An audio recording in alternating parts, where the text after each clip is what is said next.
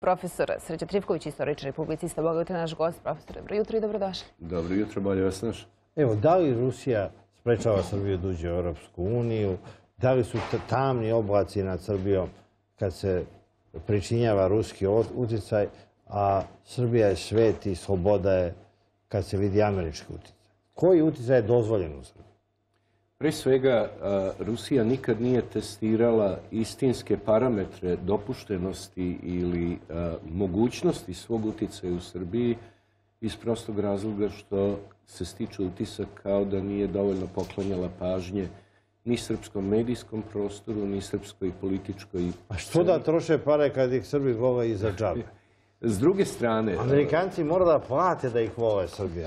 A Rusi ali ništa ne treba uzimati zdravo za gotovo, jer kao što smo vidjeli na primjeru Crne Gore, kada su početkom 2000-ih počeli Rusi individualno da investiraju nekretnine, a veoma je tad bilo jasno da od 96. godine Crna Gora ide ka zapadu. Tu, nema... Ali se stica utisak da sa ulaskom tih ozbiljnih para, uključujući i kupovinu aluminijumskog kombinata i na izgled prisustvo Rusije kao značajnog i finansijskog i privrednog, a samim tim i političkog faktora. A to je bilo nešto pomesano, Rothschildi i Rusi. Uglavnom, ono što, bih rekao je da, u celini na Balkanu Rusi nisu imali ozbiljnu, koherentnu strategiju još od početka jugoslovenske krize. Evo ovdje razni analitičari cinično kažu, evo, Kosovo je proglasio nezavisno zato što je Srbija prodava NIS Rusima. A mi smo eto prodali za male pare NIS koji je vredeo dve, tri, ko zna koliko milijardi, pet milijardi, prodali smo za cenu robnih kuća Beograd jedno 400 miliona i Rusi su nam obećali da će ulagati veto za te pare u Savjetu bezbednosti da Kosovo nikad ne uđe.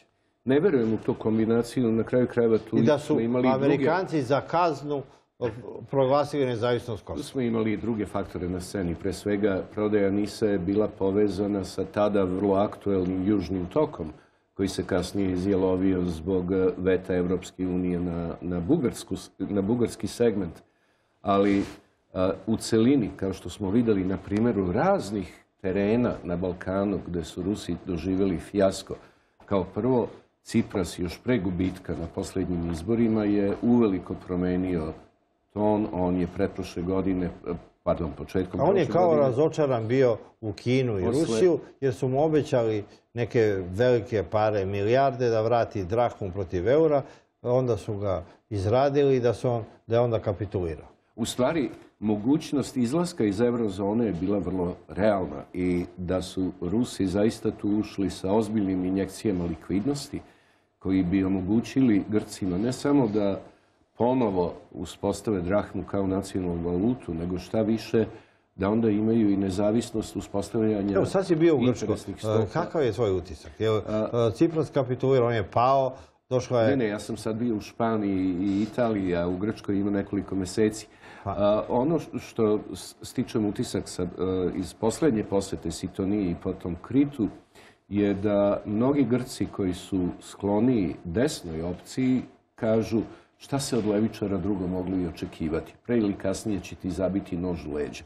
A ljudi levice kažu, pa šta se može drugo očekivati od bojemskog ovaj, kvazi levičara koji u stvari vazda bio buržujsko dete i čije srce uvek naginjalo zapadu. Drugim rečima, on je kapitulirao nakon što je dobio onaj referendum pre četiri godine u kome je izričito postavio pitanje da li da nastavim sa otporom i gdje je dobio podršku. Da, On je, dobio podršku grčkog naroda, onda kapitulirao pred Nemačkom. Upravo tako. Da li je tu mogla Rusija bolje da odigra? Mislim da jeste.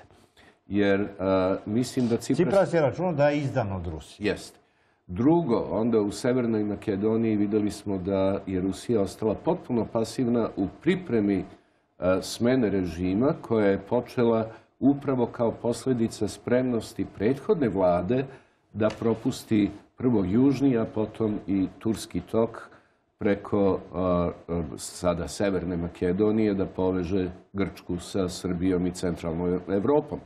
I to je očigledno bila jedna ozbiljna geostrateška operacija u kojoj je Zaev zapravo doveden na scenu kao čovek koji manje više će da prepreči koridor 10 za prodor puta svile od Pireja i Soluna ka centralnoj Evropi.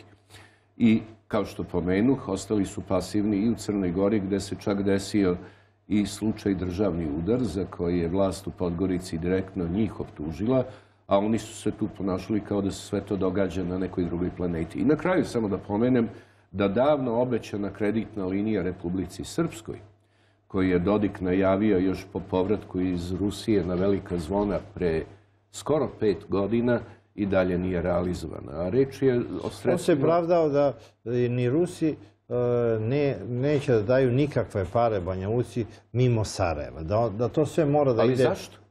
Ne, problem je u Rusima. E, Dodik nije mogao da veruje šta mu Rusi govore. Da, da ne može oni da imaju nikakav odnos finansijski prema Banja Luci, nije tako. da moraju da idu preko Sarajeva. To su gluposti. To jedino ako neki prozapadnjak, Ako neće da ti daju. ako neka krtica prozapadna Pa ja, ali vidimo da, da su oko Putina sve Jelcinovi ljudi, to su njegovi reformatori. A, k- Ja sam već jednom pomenuo u tvom programu Kudrin, pa- ime, pa ime. Elvire a, predsjednice Nacionalne banke Rusije, koja je definitivno čovek, osoba, Ona je gora nego MMF i Svetska o- banka. osoba Vašingtonskog konsensusa i koja je na pitanje na kanalu Rusija 1 o dedolarizaciji se onako bahato nasmejala i rekla kakva dedolarizacija, nemojte da me zasmejavate.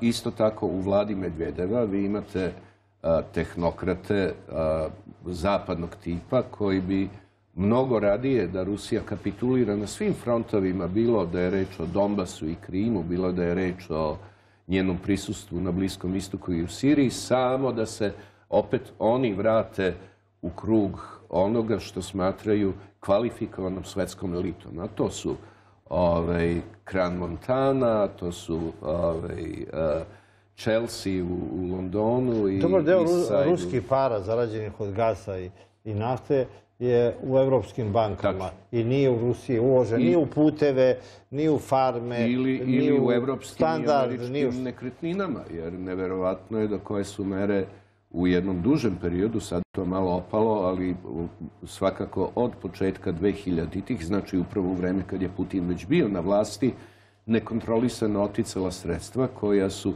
i tekako doprinela visokim cenama luksuznih vila u Marbelji u Španiji ili u Majamiju na Floridi. A, Da li ti vidiš neki zaokret u Srbiji ka Americi?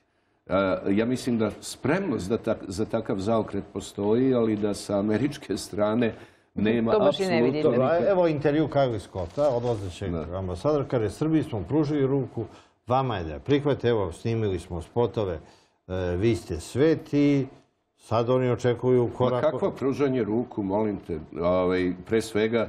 Posle... Ne, mi treba da budemo srećni što smo snimili spotove Da. o I, američko... I uopšte je uvredljivo da Amerikanci nama kažu vi ste svet. Na šta to liči? Jel, treba ovaj gospodin? Ne, a s druge koji- strane mi vidimo da oni kažu da su Albanci simbol, simbol borbe za I ljudska ovaj prava, isti nacionalno... gospodin je pre šest meseci rekao da je Srbija na pogrešnoj strani istorije zato što nije priznala nekakvog tamo Gvaida koga su oni proglasili za legalnog predsjednika Venecuele.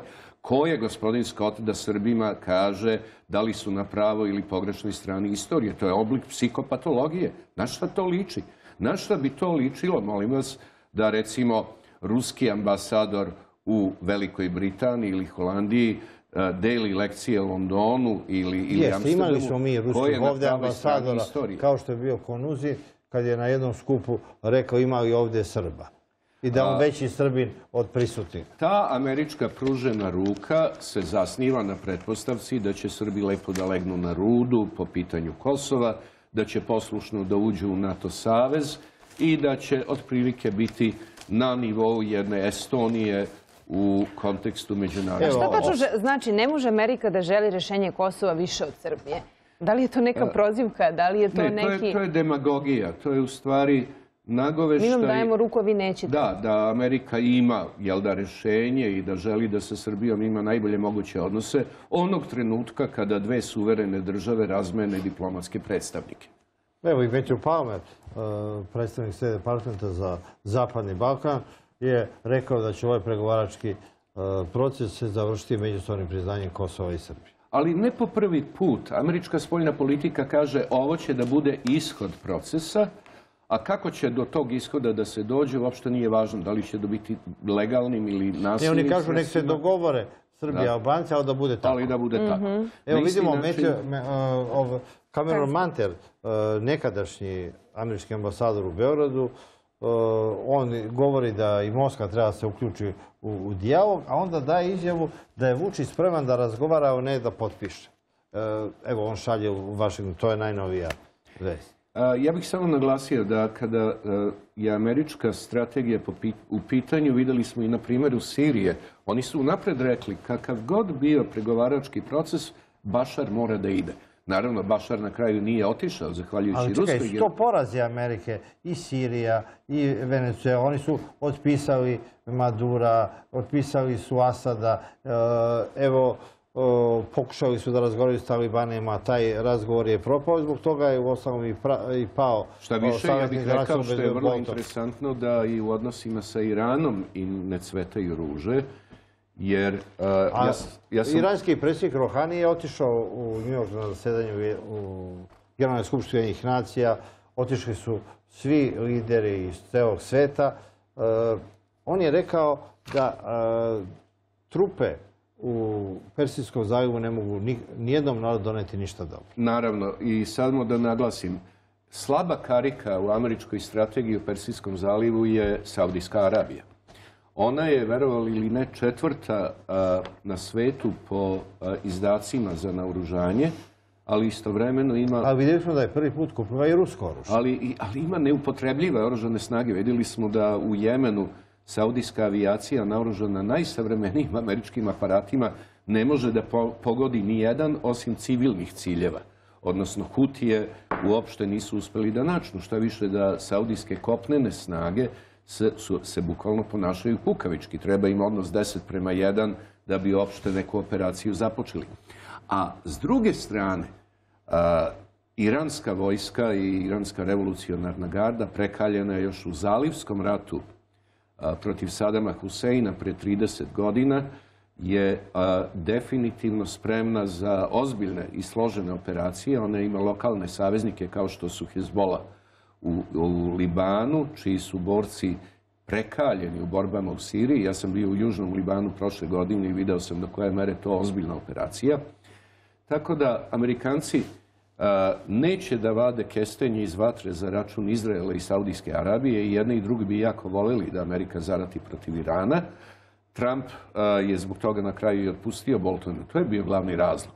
Jer Bolton nije mogao da se pomiri, da se Trump uzdržava od vojne operacije protiv Teherana. Ali evo vidjeli smo Nancy e, Pelosi ju- juče kaže e, Trump će da nas uvede u novi rat, e, to, to nije dobro za Ameriku, a mi smo očekivali da demokrate zapravo guraju Trumpa u rat i u poraz na sljedećim izborima. Ma, Nancy Pelosi naravno a, demagoški zapravo priželjkuje da Trump upravo to A ne, ona učini. kaže e, Trump nas gura u novi rat. A, vidite, s druge A strane... iza nje stoji Elliot Engel, e, albanski lobista i e, šef spoljnopolitičkog odbora S kongresa. druge strane, kada je Trump odustao od vazdušnih napada na iranske ciljeve polovinom juna meseca, demokrati su ga napadali zbog neodlučnosti i zbog ispoljavanja slabosti. Da- dakle, po definiciji šta god Trump radio, Ali to Trump, neće biti dobro. ako uđe u rat, izgubit će izbore. A, definitivno i ja mislim da je on toga svestan i da je on visoko motivisan da do- dobije drugi I on e, mandat. ide na sankcije, ide na prisustvo vojske u Saudijskoj Arabiji,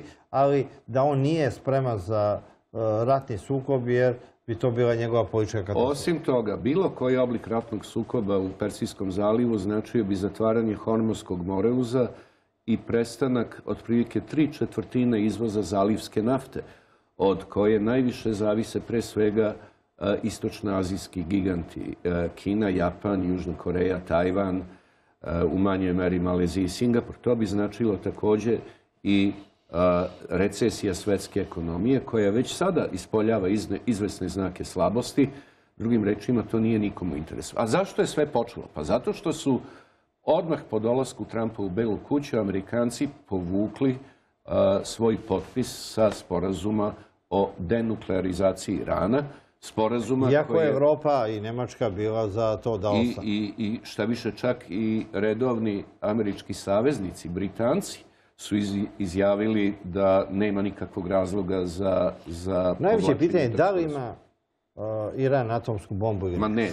Iran atomsku bombu nema i Iran nema sposobnost da je proizvede, a taj e, režim sankcija, odnosno nadzora koji je bio predviđen sporazumom kojim je trebalo budu skinute sankcije, je takav da bi bilo maltene nemoguće da tajno tu bombu Iako proizvedu. o, dobar deo energije uh, struje u Iranu se proizvode u atomskim ali, centralama. ali da bi se od uh, uh, 20% uh, došlo na oboga- obogaćenje od 92-93% koliko je potrebno da bi se proizvelo atomsko naoružanje, ne možeš ti to da sakriješ. To je toliko centrifuga i toliko akceleratora da bi to praktično bila javna tajna. Oni to ne mogu da rade pod zemljom, ne mogu da rade nevidljivo. Osim Ali toga, evo, Amerikanci imaju više poštovanja prema Kim Jong-unu i. Severnoj Koreji nego prema Iranu. I, Iako je to I persijsko... zbog toga nikad se neće desiti smena režima koji je zapravo pri- prizivao Bolton, ako se sećaš prošle godine, kada je rekao treba da rešimo severno-korejsko pitanje po libijskom modelu. Na što je Kim Jong-un rekao, zaista? E pa neće moći. Zemlje koje imaju atomsku bombu se ne napadaju. Su mirne. I to je a, To je pravilo, mi e, se ne slažemo s tim, to deluje čudovišno, ali to je jedina istina koja... Osim toga, atomska bomba doprinosi regionalnoj stabilnosti, jer mi smo videli da su Indija i Pakistan bili u dva ili tri navrata na ivici rata poslednjih terorističkih napada u Bombaju. Sad, a, nedavno, posle krize u Kašmiru. Ali ranije... Od oni kad su- imaju atomsku bombu ne ratuju. Oni su ratovali 47. 8. u vreme e, podele, oni su ratovali 65. ratovali su 70. se- kad se odcepio Bangladeš. Od kad imaju bombu i jedni i drugi, od tada dođe kriza do izvesne tačke eskalacije i onda se smiri. Tako da uopšte ne bi bilo loše da nam Merkelova poručila. Ne, evo, ti si pro, po- pogrešno pročitala naslovnu stranu Ali da priz- nekog tabloida. Bilo je, e, Angela Merkel nudi e, Volkswagen za priznanje Kosova. Fabriku automobila. E, Katar, Katarina je to pročitala pogrešno i kaže Angela Merkel nudi atomsku bombu za Kosovo. Ja sam rekao bolje da nam daju atomsku bombu nego o, da nam daju fabriku automobila. To mora da radiš. Veliki Ako imaš atomsku bombu, Ništa. ne moraš ništa. Sigurno ona te brani, ona te greje. E, ne može ti niko ništa. Veliki izraelski strateški e, stručnjak Martin Van Krefeld, kad je bio u Beogradu pre pet, ne, sad je već šest godina, upravo je to rekao. A, napravite atomsku bombu i bit ćete mirni.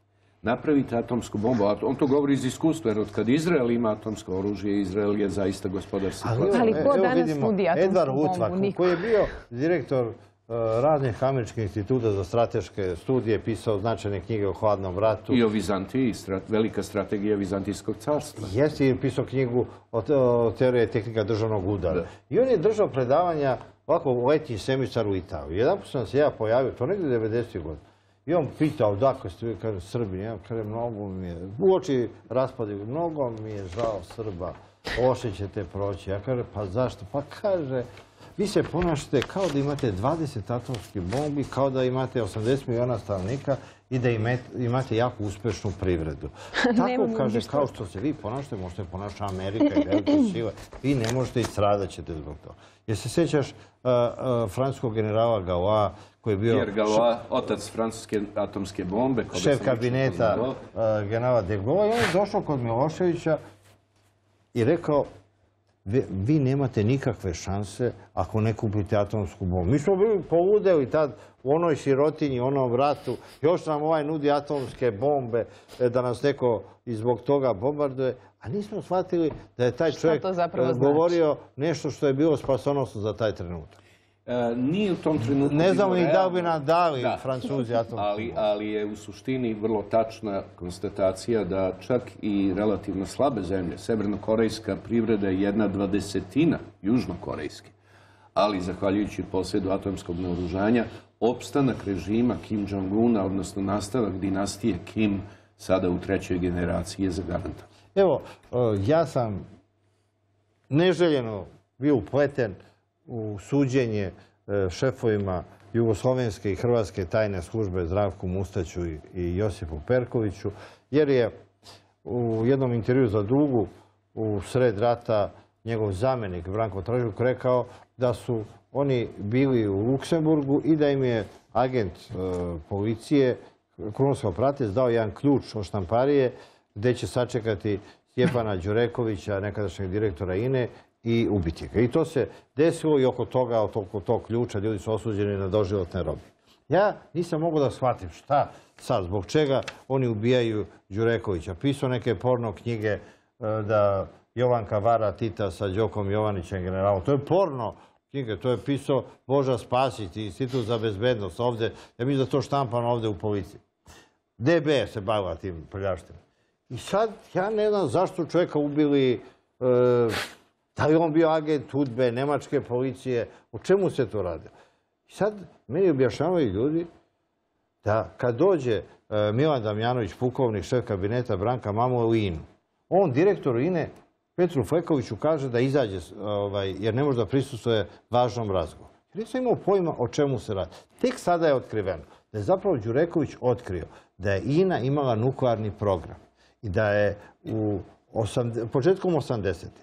pošto ranije Tito nimao para da napravi atomsku bombu u Vinči, da su oni tajno za Gaddafija pravili atomsku bombu i e, sa ubistvom Đurekovića e, prekida se ta akcija. Evo, to, to sam sad otkrio, evo, posle e, Možda mi imamo negdje tu 30, atomsku 40 bombu, a i ne godina, ja sam bio u to upata, što mogu da verujem da ovog ubijaju zbog pornografije sa instituta Mariću, za ti bez... ovdje imaš materijal za jedan visokotiražni, vrlo uzbudljiv ovaj, roman koji bi bio zasnovan samo delimično, možda na dokumentarnim činjenicama, ali ti onako nikad ne dopuštaš pukim činjenicama da stanu Jeste, ali taj, ali čekaj. Tu ali istinu, taj e, Milan Damjanović, poslije uhapšen bio sa dva miliona e, maraka u torbi, jedno na aerodromu.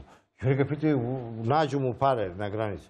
Kaže, to je za finansiranje puča protiv Slobodana. Ljudi gledaju, ne, ne mogu da veruju čemu se radi. Kaže, evo, složio se rimski papa, složio se ovaj, složio se onaj. I sad taj čovjek je, živi u šumi jednoj e, pored Banja Luke. Tu su ga našli neki reporteri e, i glavni je snadbevač e, NATO trupa i u Bosni i, i u raznih tih do Iraka snadbeva i šunkom, pršutom. Je moguće to sve da se dešava za jednog čoveka? I na svojoj Od livadi ispod kuće i da je čuva živ. jednu atomsku bombu I za da- koju nikom nije... Da živi negde u nekoj šumi tamo u Bosni. A, pre svega, živeti u šumi u Bosni nije uopšte garancija da si bezopasan. Naprotiv. Čuvajte se ovih šumara. Čuvajte se šumara. Marina. Najopasniji su šumari u, na Balkanu. Ali samo da ponovim, a, atomsko naoružanje, odnosno njegovo širenje, je do- de facto doprinelo stabilizaciji sveta. Čitav period hladnog rata je prošao bez sukoba na centralnom evropskom frontu, upravo zahvaljujući doktrini garantovanja. Evo, mi se šalimo, mi se šalimo, ali što je najgore, ovaj cinizam je istinit. Tačno. Da, jer, jer recimo, oni samo znaju za moć. Znaju da se suprotstavljaju. Vidimo šta se dešavalo sa Miloševićem kad je počeo da popušta. Kad je e, formula e, Holbruka samo Srbima treba zavrnuti ruku. Onda daju i šta ne traže. Ali onog trenutka kada je počeo s tim popuštanjima, to je bilo već u jesen 1991. godine, bilo je također jasno da Srbi ne samo što ne znaju šta hoće, nego da nemaju strategiju za ostvarenje toga, šta god to bilo. Jer mi smo istovremeno u jednom broju politike mogli da vidimo da Srbija nije u ratu i da će Srbija braniti Srbe sve i svuda. I da se brani Beograd u Kninu. A istovremeno da to što se događa u Kninu, to je neka druga država i Srbija naravno s tim nema. I da su tamo neki kriminalci e, ratuju po, e, i po Bosni, i po Slavoniji, i po Kninu i da Srbija nema veze s tim. Ne može da ih da utiče na njih. Ali samo da se vratimo na Iran. Oni nemaju atomsku bombu, ali oni imaju klasične projektile koje mogu da napune atomskim otpadom. I koji i Šta dalje- to znači? To znači da recimo u krajnjem, a, u slučaju krajnje Mogu i oni da gađaju te avije. oni bi mogli da gađaju izraelske gradove klasičnim projektilima, znači napunjenim eksplozivom, koji bi onda a, otrovni, odnosno radioaktivni otpad raspršio u atmosferu. I e, to je nesumnjivo opasnost koja također lebdi i nad Rijadom, i nad e, Džedom, i nad Mekom, drugim Oni mogu sve to da gaze. Oni to mogu da učine i oni mogu da onesposobe e, saudijsku naftnu industriju za dugi niz godina, isto tako hiljada... A šta znači ovaj napad na Aramco? ovo je bio... Ovaj, Ko je iza toga? Je, je to... Ne verujem da su Huti, ja mislim da su to proiranske milicije iz Iraka, jer reklo bi se a, po putanji, i sada ja govorim kao osoba koja je u prvi mah čak bila sklona da veruje da je to bio napad lažnih zastava, da su to možda čak i Izraelci uradili, jer njima bi odgovaralo da se zarati između Amerike i Teherana, međutim, rekao bih da je ovo bilo nesumnjivo na iranski signal od strane proiranskih milicija, verovatno u Južnom Iraku izvedeno, kao hitac upozorenja. Evo šta može da se desi, a došlo je do momentalnog smanjenja saudijske proizvodnje nafte od 40%. Evo šta smo mi sposobni da I uradimo. bio ako skok cene nafte. preko 60 dolara i tako dalje, što uzgred budi rečeno pogoduje Rusima. Jer, a, i, Paradoks i je da recimo na a, pustinjskim olujama, na rušenju Sadama, najviše zaradili Rusi. Jer je ta skočila nafta. I šta više da bi to također bio i put spasenja za Madurov režim upravo u trenutku kada su u finansijskoj velikoj st- Ne, nikad ne znamo o čemu se radi. Evo recimo, mi smo jednu situaciju kad su otkriveni e, planovi Babylon 1 i Babylon 2. To je e, proizvodnja super topa s kojim je Saddam Hussein e, sa najvišim prečnikom topa htio da gađa Tel Aviv. Iza toga bio je legendarni kanadsko-američki istraživač i konstruktor Gerald Bull, koji je sa njuroškom mafijom i sa jugoimportom SDPR i Boškom Radonjićem e, pravio taj top. I oni su toliko bili drski, pošto nisu imali čeli kvalitetni za taj top, oni su to naručili u Engleskom. I e, obrazloženje je bilo da im, to su vodovodne cevi za vodovod u Bagdadu. I tek kad su Engle, e, e, Englezi shvatili o čemu se tu radi, taj projekat je pukao, a u Briselu je ubijen konstruktor Gerald Bull i tad je ta afera zataška. Ja se bojim, Mariću, da ti nisam pravi sagovornik za ove pikanterije iz obaveštajnih struktura s kojima ti uvek imaš najbolje moguće odnose. Ljudi u kafani pričaju svašta. E, Možete Recimo, nisu učestvovali u nekoj zaveri ako to meni ne ispričaju. Hvala najlepše, Hvala profesore. puno.